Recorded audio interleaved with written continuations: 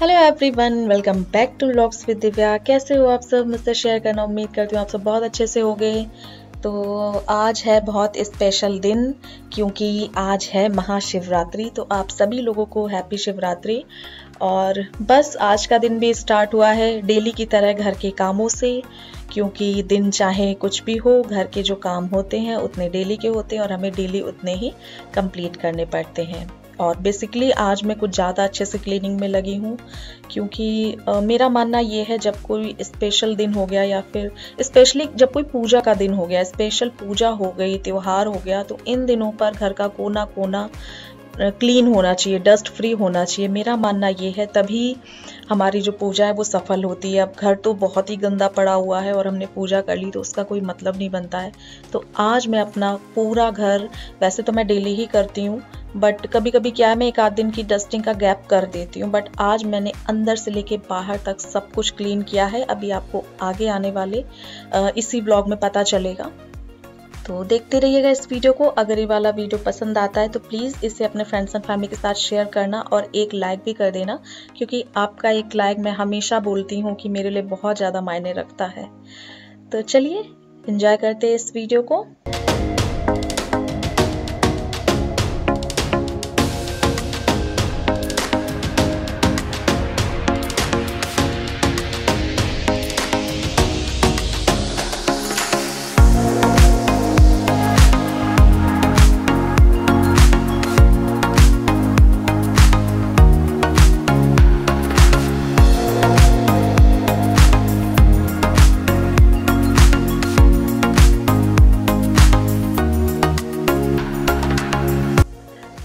यहाँ पर आप देख सकते हैं कि मैं नहा करके रेडी हो गई हूँ और आज मैंने पहना है ये बहुत ही ब्यूटीफुल सा पीच कलर का सूट जो कि मेरा बहुत ज़्यादा फेवरेट है।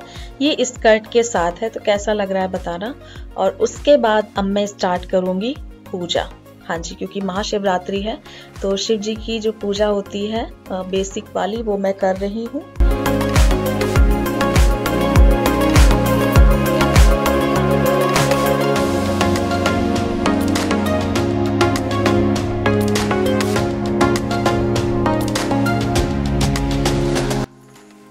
फ्रेंड्स पूजा करते टाइम मुझसे एक गलती हो गई, बड़ी क्योंकि मतलब मेरे लिए तो बहुत बड़ी है बट मम्मी ने फिर मुझे समझाया कि देखो, होता क्या है कि जब हम सच्चे दिल से पूजा करते हैं ना तो ये सारी चीज़ें कोई मायने नहीं रखती है।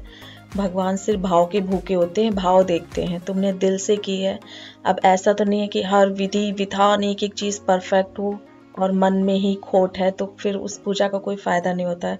तो मुझसे बहुत बड़ी गलती हो गई। मैंने बेलपत्री ना गलत तरीके से चढ़ा दी, क्योंकि वो जो पत्ते होते हैं ना, वो कुछ आई थिंक एक में तीन होने चाहिए करके तो वो मैंने, मुझे मुझे पता ही नहीं थी ये बात।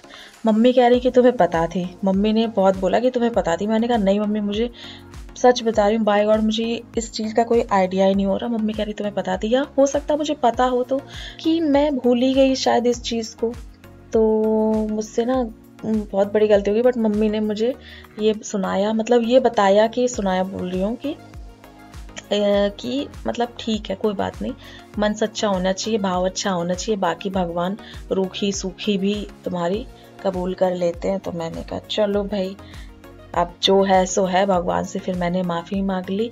तो किसी से अगर कोई भी छोटी मोटी पूजा में गलती हो भी जाए तो इस बात को हमेशा ध्यान रखना चाहिए, आपका मन सच्चा होना चाहिए बस, मेरे अकॉर्डिंग और बस आप देख सकते हैं, भगवान आपके प्यार के, भाव के, भूखे होते हैं।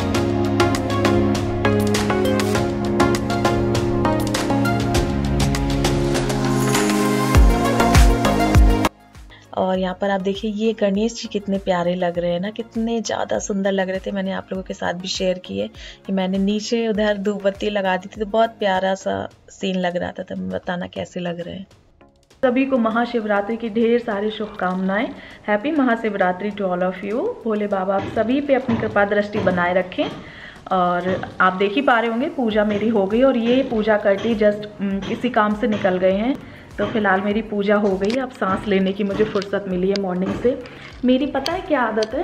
मेरी आदत ये है कि जब भी कोई वैसे तो मैं सफ़ाई रखती ही रखती हूँ और जब भी कोई स्पेशल पूजा का मौका होता है तो मैं चाहती हूँ मेरे घर का कोना कोना साफ़ हो, अंदर से लेके बाहर तक का।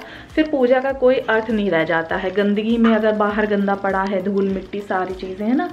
और आप पूजा कर लो, कोई त्यौहार आया तो फिर कोई मतलब नहीं बनता है। तो इस वजह से आज मैंने पूरे अच्छे से डीप क्लीनिंग की। काम मैंने सारे कल ही कर दिए थे, ज़्यादा नहीं था बट फिर भी काफ़ी सारी चीज़ें हो जाती हैं। सफ़ाई की बात अगर हम करें तो तो इन, इनकी मैंने धुलाई कर दी है। वैसे तो ये मतलब डस्टिंग वगैरह करती थी, क्योंकि यहाँ पर काम चल रहा है डेली करो डेली गंदे होते तो आज मैंने इनकी धुलाई कर दी है तो ये सारी चीज़ें। और यहाँ पर मैं हर दूसरे दिन डस्टिंग करती हूँ, क्योंकि बहुत धूल आती है तो ये सारा कुछ मैंने क्लीन करके, बाहर मैंने बहुत अच्छे से क्लीन कर दिया है। बात करूँ अगर प्लांट्स की तो मेरे सारे प्लांट्स अभी बेकार हो चुके हैं। बहुत भयानक वाली ठंड थी ना इस वजह से। तो अभी कुछ दिनों में जब ये इनका काम ख़त्म हो जाएगा प्लास्टर हो रहा है घर में। तो जब ये सारे काम फिनिश हो जाएँगे, उसके बाद में प्लांट्स भी चेंज करूँगी। क्योंकि वो सारे ही ख़राब हो गए। और एक पता नहीं गाय या कौन किसी ने ख़राब कर दिया, खा गया कोई, जो पाम ट्री था, मेरा सुंदर सा। पर मैंने कहा, चलो, कोई बात नहीं। दाने दाने पर लिखा है, खाने वाले का नाम। और एक अच्छी बात मुझे और सुनने में मिली है, वो भी मैं आप लोगों के साथ शेयर करना चाहती हूँ, करूँगी तसल्ली से। बाकी मेरा, ये वाला कमरा आप देख सकते हैं, किस तरीके से है, एकदम टिप टॉप। किचन भी मेरी एकदम टिप टॉप है। और ये वाला रूम भी। ये मैंने हटाया नहीं कभी कभी मुझे ना मेरी तबीयत ठीक नहीं लगती या मेरे सर में दर्द हुआ अचानक से तो मैं थोड़ी देर के लिए, दो पाँच मिनट के लिए चला लेती हूँ, बस मैं इसको हटा ही दूँगी कुछ दिनों में। और अब रूम ज़्यादा स्पेशियस लग रहा है। इधर अगर मैंने ड्रेसिंग टेबल रख ली है तो अब ज़्यादा स्पेशियस रूम लग रहा है। तो चलिए, अब मैं भी थोड़ा सा पानी पी लेती हूँ, सुबह से प्यासी हूँ, बहुत ज़्यादा भयानक वाली प्यास लग रही है मुझे। हाँ अच्छा करवा चौथ में कैसे मन को संभालना पड़ता है ना? चाहे जितनी प्यास लगे, प्यासे ही रहो। बट अगर कोई और व्रत हुआ तो पूजा करते ही लगता है, बस भैया पहले पानी पी लो। ऐसे इंसान हर वक्त हर चीज़ कर लेता है, अपने उसके अकॉर्डिंग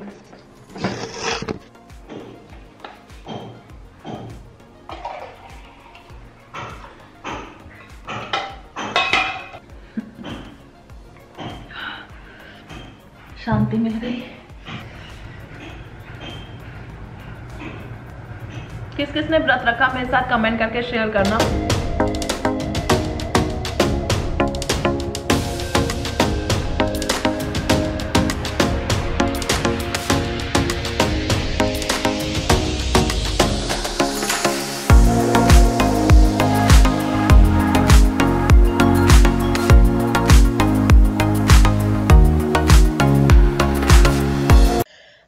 घर के सारे काम हो गए हैं, पूजा भी हो गई है और अब मैं बैठ गई हूँ लैपटॉप लेके अपना काम करने के लिए क्योंकि ऐसा आज कुछ काम है नहीं, व्रत वाले दिन क्या होता है?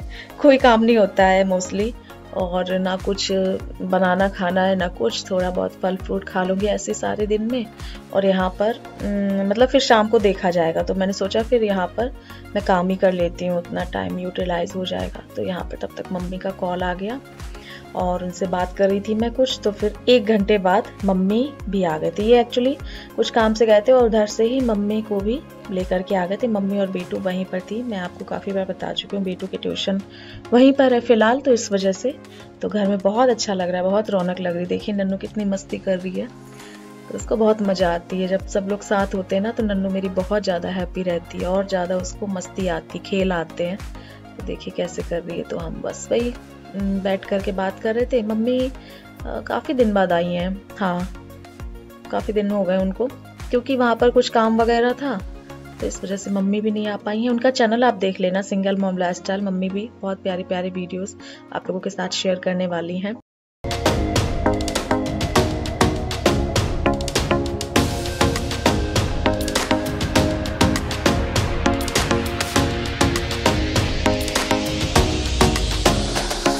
तो यहाँ पर आप देख सकते हैं कि बाहर कितना सुंदर नज़ारा हो रखा है। तो काफ़ी दिन बाद मतलब इतनी भयानक वाली सर्दियाँ ही हो रही थी। और बाहर निकलना नहीं हुआ टाइम भी बहुत कम मिल पाता है कि बाहर वो करो, निकलो, बैठो। तो आज काफ़ी दिन बाद मम्मी भी आई है तो सोचा थोड़ा सा बाहर का भी मज़ा लेते हैं। तो वही बाहर नन्नू और मम्मी थोड़ा सा वॉक पे निकल गए थे। मैं तो बस वही हम लोग थोड़ा सा खड़े होकर के बात बात कर रहे थे। अच्छा लग रहा था बाहर के नज़ारे देखते हुए। और काफ़ी अच्छे से क्लीनिंग वगैरह भी करी थी बाहर की तो और ज़्यादा अच्छा लग रहा था क्योंकि फ्रेंड्स सामने काम हो रहा था ना, मैंने आपको दिखाए थे मकान बन रहे हैं तो इस चक्कर में बहुत ज़्यादा ही गंदगी हो रही थी। सफ़ाई करना तो कोई मतलब मतलब ही नहीं बनता था सफ़ाई करने का, मोरम, धूल, मिट्टी सीमेंट कोई फ़ायदा नहीं था। तो अभी आप देख सकते हैं कि कितना अच्छा लग रहा है क्लीनिंग हो रही है। और ये देखिए, इतना घर कंप्लीट हो गया। उस दिन मैंने आपको दिखाया था ना तो कुछ लोग मेरा, मेरे से साइज़ प्राइस ये सारी चीज़ पूछ रहे थे तो नंबर मैं स्क्रीन पर दे दूँगी डिस्क्रिप्शन में भी दे दूँगी तो इसकी सारी डिटेल आप लोग उस नंबर पे कॉल करके पता कर सकते हो। और ये देखिए, मम्मी और नन्नू टहलते हुए कहाँ निकल गई वॉक पे।